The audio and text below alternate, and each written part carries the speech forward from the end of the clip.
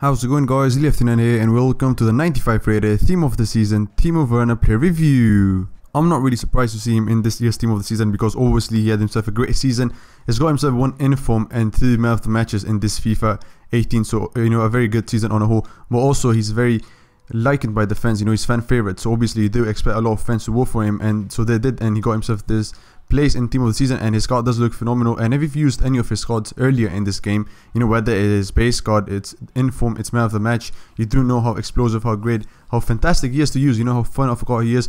And uh, so exactly you do expect nothing less from this card looking at his stats 98 pace 97 dribbling 95 shooting 89 passing and 81 physical a complete player you know very um, very amazing stats on the whole, to be honest. Also got himself 4-star weak foot, which is great with high medium vic rate, making him very, very aggressive and active on the offensive side. Skill moves are 3 stars, but they're not really a problem. Looking further into the car, I mean, he just looks astonishing. Got himself some phenomenal upgrades, starting off with the space, you know, very, very explosive, very pacey with the 99 acceleration and 98 sprint speed. Shooting, very great with that 99 positioning, 99 finishing, 88 shot power. However, you know, not the best of long shots, but still, you know, around the box, you do expect him to you know, score a lot of chances that he gets. Passing is also very decent with 94 crossing, 99 short passing, and 84 curve. Not the best of curves, so you know you don't expect a lot of finesse shots as well. However, dribbling is very phenomenal. You know, with the 95 agility, 92 balance, 99 reactions, 99 ball control, 98 dribbling. Composure could have been a bit higher. I was a bit disappointed to see that. You know, could have been around 88, but it's not the best. Obviously, very decent. Also, very very strong in the air, 99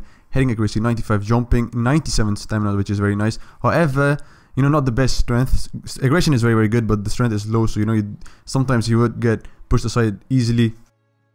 And I did a review earlier on Batshuayi, and it was a bit hard to use Batshuayi because obviously he's more of a target striker. He's not the striker, not the type of player that we are, you know, very, very used to. However, this guy right here, as you can see, he's phenomenal. I had so much fun playing him. He's one of the best cards that I've used in this game. He's He's, he's just a he's fantastic card to use in this game in FIFA 18. We all like very pasty, explosive cards, you know, with great agility, great balance, great dribbling, and uh, he is that card. You know, he's a complete card, can score whatever chance that you give to him. You know, whether it's inside the box, whether you know it's tap-ins, whether it's crosses, headers, whether it's you know he have to work it himself and score. He does all of it by himself, and he's very very great at it. A very you know complete striker, also assists a lot, so that's very very nice.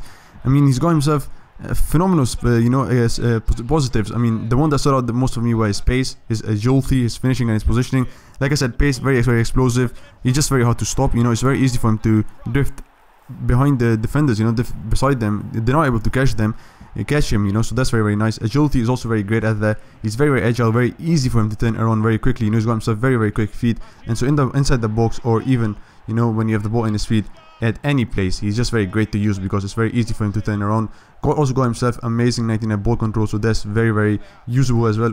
And then his finishing is also fantastic. You know, as you could see there, you know, finished it with his left, and uh, I mean, low drivens in this game are very very overpowered. And uh, I mean, this guy with 99 finishing, you do expect him to at the you know you do uh, expect him to finish those at the back of the net and he's also got himself four star weak foot so that's very very nice as well. Positioning is also very great never drift wide you know stay in his position and that is what I like to see. With Batshuayi he was drifting a bit wide you know and uh, it might get frustrating at times. However this guy was in his positions all the time and I play very aggressive football you know I just I, I press high at the defense and you know pass straight away to the offense and uh, he was always on those positions so that was very very nice.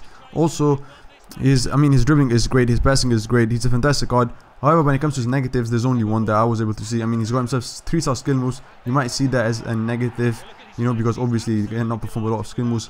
But other than that, strength, which is a major one because he's got himself 73 strength. It's decent, but it's not the best one when it comes to the likes of Maldini or, you know, Ferdinand or even Bailly because they're very easy. Not very easy, but still, you know, they can push him aside with uh, a lot, uh, some ease.